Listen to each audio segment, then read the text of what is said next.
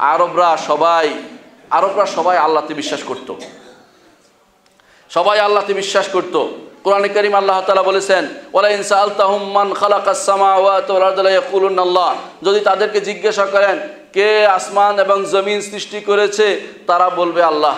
ওমাইউদাবুল আমরা। কে সব কিছু পরিচালনা করে? কলুন আল্লাহ তারা অবশ্যই বলবে, আল্লাহ সব কিছু পরিচালনা করে। তাহলে শিরিক করল কোথায়? রসুল আসলাম কেন যুদ্ধ করলেন? কারণ তারা মনে করত যে এক আল্লাহ নয়, আল্লাহর সাথে আরও আছে, আল্লাহর সাথে আরও আছে। ওরা তাদের সাহায্য করে, সহযোগিতা করে, অথবা আল্লাহ আল্লাহ, আল্লাহর সাথে যারা আছে, ওদের সুপারিশ আল্লাহ কবুল করে। এটা তারা মনে করত। কেউ কেউ কেউ মনে করতো আল্লাহর কন্যারা আছে ফেরেস্তাদেরকে আল্লাহর কন্যা মনে করত। কেউ কেউ আছে, আল্লাহর ছেলে আছে মনে করে ঈসা আলাহ ইসলামকে আল্লাহর ছেলে বানিয়ে দিয়েছে। কেউ কেউ ওজাহিরকে আল্লাহর ছেলে বানিয়ে দিয়েছে। এইভাবে দেখা গেছে এরা আল্লাহকে, মা কাদারুল্লাহ হাক্কা কাদরিহি ওয়াল আরদু জামিয়ান কবদাতুহু ইয়াউমাল কিয়ামা ওয়াস সামাওয়াতু মাতউইয়াতুম বিয়ামিনিহি সুবহানাহু ওয়া তাআলা আম্মা ইউশরিকুন তারা আল্লাহকে সঠিক সম্মান দিতে জানেনি। তারা আল্লাহকে সঠিক সম্মান দিতে জানেনি। নিজের বিবেক মতো আল্লাহকে মনে করে, কেউ আল্লাহকে মনে করেছে কীরকম? যে আল্লাহর সন্তান হওয়া দরকার। আল্লাহকে একজন সন্তান সাব্যস্ত করেছে। কেউ বলেছে আল্লাহর কন্যা হওয়া দরকার, আল্লাহর কন্যা সাব্যস্ত করেছে। কেউ মনে করেছে আল্লাহ হচ্ছে রাজা দিরাজদের মতো, যাদের কাছে সুপারিশ নিয়ে যেতে হয়। সুপারিশ না নিয়ে না নিয়ে না নিয়ে গেলে তাদের অন্তর বলবে না, তারা কিছু দিবে না। এই জন্য তারা সুপারিশ ধরার চিন্তা ভাবনা করছে। অথচ আল্লাহ তালা কোরআনে করিম বলেছেন ওয়াইদা সাআলাকা ইবাদি আন্নি ফাইন্নি করিব। উজিবু দাওয়াত দাঈ দাআন ফালিয়াস্তাজিবু লি ওয়া লিউমিনু বি লাআল্লাহুম ইয়ারশুদুন। আল্লাহ তাআলা বলছেন, সুপারিশের চিন্তা বাদ দাও, আমার কাছে আসতে চাও সোজা চলে আসো।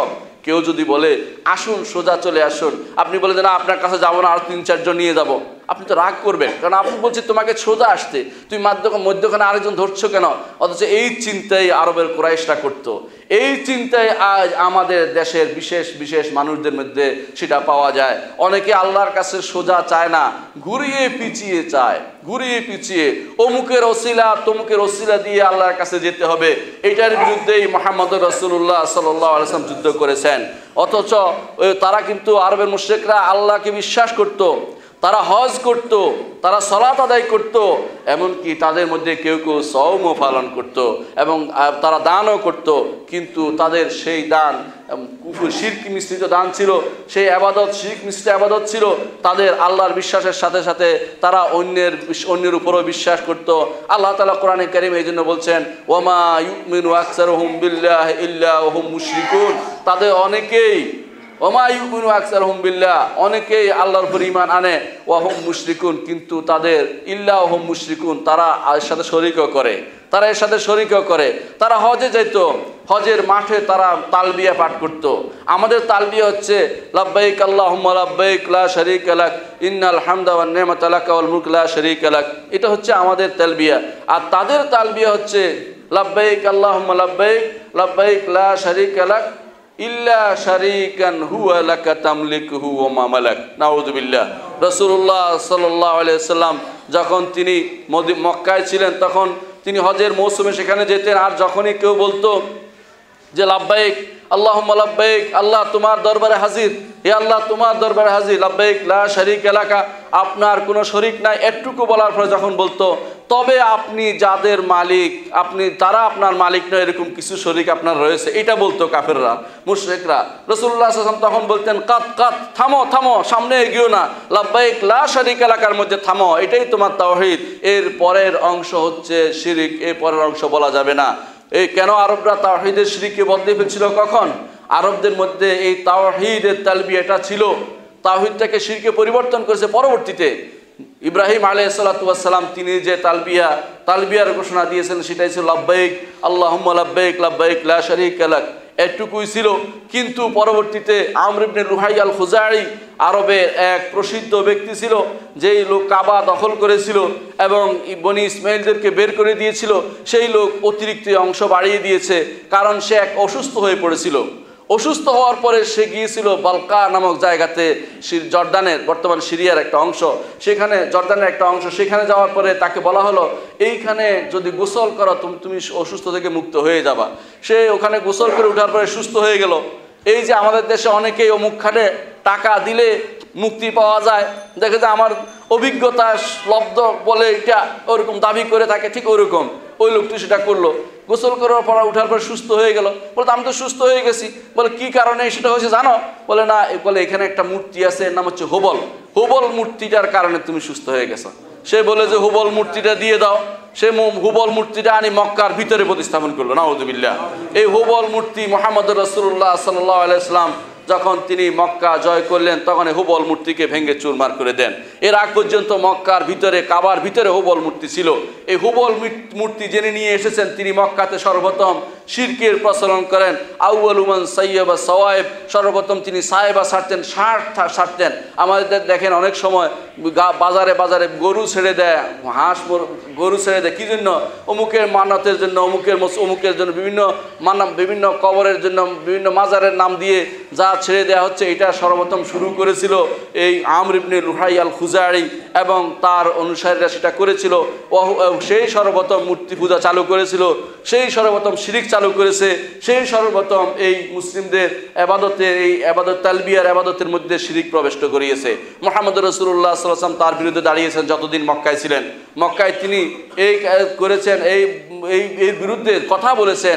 তিনি যেতেন হজে, কিন্তু হজের উদ্দেশ্য ছিল তার যে তাওহিদি হজ কাউকে করানো যায় কিনা, কাউকে সাবধান করা যায় কিনা যে শিরিক মুক্ত, তারা যেন শিরিক মুক্ত হজ করতে পারে সেই ব্যবস্থার জন্য তিনি হজের বিভিন্ন অনুষ্ঠানে যেতেন। রসুল্লাহ সাল্লাহ আলাইসাল্লামকে আল্লাহ তাআলা পাঠিয়েছেন এই আনিরবুদুল্লাহ ও জিতানিবুত তাগুত, যেন আবাদত প্রতিষ্ঠা হয় একমাত্র আল্লাহর তাগুত থেকে যেন দূরে থাকে। তিনি শুধু নন, প্রত্যেক নবী এই এই এই দাবি করেছেন। আপনি কোরআনে কারিম খুললে, পড়লে জায়গায় জায়গায় পাবেন। প্রত্যেক নবী বলতো, ইয়া কওমিবুদুল্লাহ মালাকুম মিন ইলাহিন গায়রু। হে আমার কওম, আল্লাহর আবাদত করো। তিনি ব্যতীত তোমাদের আর কোনো ইলাহ নেই। কেউ বলে নাই কোন নবী একথা বলেন নাই? আল্লাহকে সাব্যস্ত করো, আল্লাহ আছে কিনা দেখো।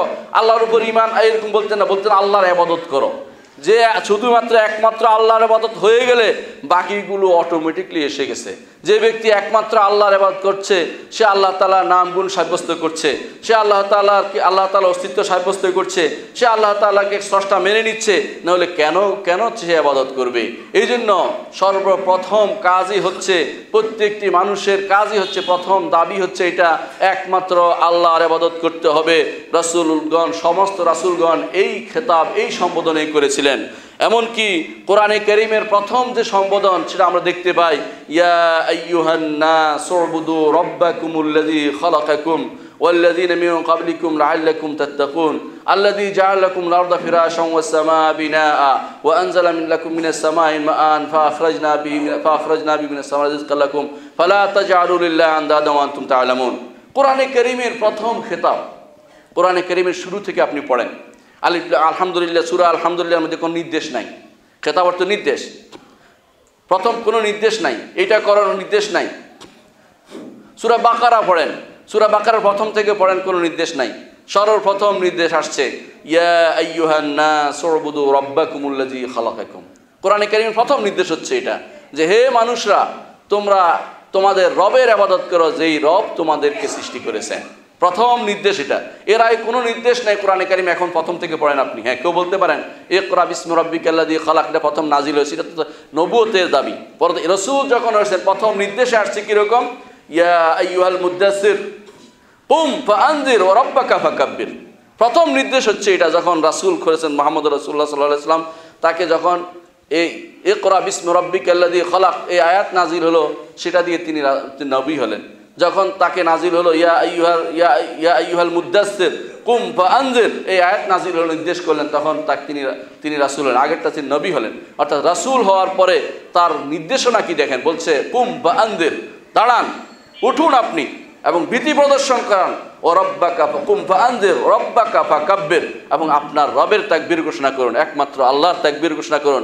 আল্লাহ আকবার বলুন, এটা শিক্ষা দিয়েছে, এটাই শিক্ষা। এই শিক্ষার অর্থই হচ্ছে যে প্রথম রসুলদের দাবি হচ্ছে, কাজই হচ্ছে একমাত্র আল্লাহর এবাদতের দিকে মানুষকে আহ্বান করা। আল্লাহর এবাদত দিকে মানুষকে আহ্বান করতে হবে, এটা হচ্ছে প্রথম নির্দেশনা। আর প্রথম নিষেধ কি? সেটা হচ্ছে, ফালা তাজালু লিল্লাহি আন্দাদান ওয়া আনতুম তা'লামুন কোরআনে কারীমের প্রথম থেকে আপনি পড়তে থাকুন, কোথাও প্রথম নিষেধ পাবেন না।